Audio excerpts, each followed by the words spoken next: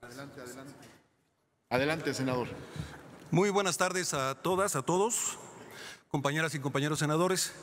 En primer lugar, nuevamente saludar a mujeres en plural que están hoy presentes aquí, pero que han estado presentes durante todo este proceso de muchos, muchos años que ustedes le han dedicado a la búsqueda de la igualdad de los derechos entre mujeres y hombres. Bienvenidas al Senado de la República.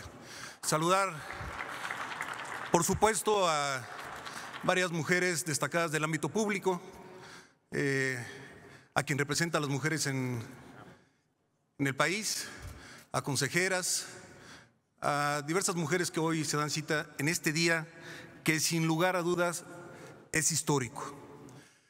Tenemos que recordar el 57, el 47, 1947, 1953.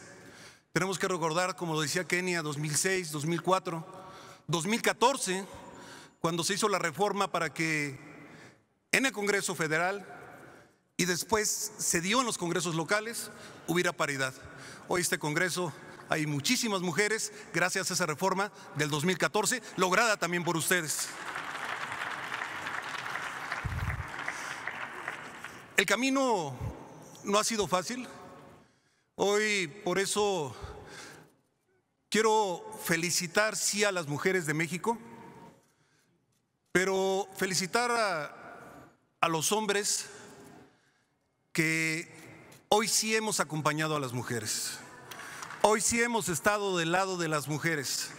Hoy algunos, y lo digo con mucha humildad, nos hemos declarado feministas buscando la igualdad de los derechos de los hombres y de las mujeres. Pero el camino sigue y tiene que seguir siendo una lucha de mujeres y hombres. Tienen que estar juntos ambos para poder lograr mayores avances. Hay que seguir adelante, porque si avanzamos en la igualdad de derechos, vamos a erradicar uno de los temas más importantes que tenemos como país, como problema, que es la violencia de género. Por eso tenemos que trabajar más. Si queremos equidad, tenemos también que hablar de cuidar los derechos de las mujeres en el hogar, en la escuela, en la calle, en el centro de trabajo. Tenemos que hacer aún más por las mujeres este en este país.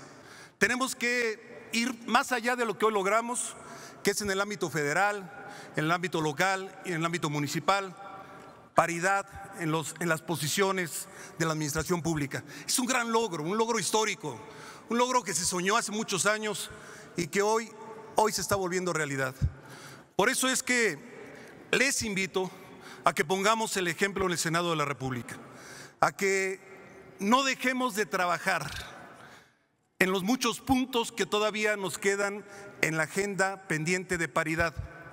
Ya fueron señalados por el senador Monreal, por el senador Curi, sé que habrá de señalarlo el senador Dante, y en mi grupo parlamentario hicimos 12 reservas, porque creemos que hay puntos todavía que se tiene que discutir y avanzar, pero efectivamente tampoco se pudo tener consenso. Y no por estas reservas vamos a echar atrás una de gran trascendencia como la que hemos votado ya aquí en el Senado de la República.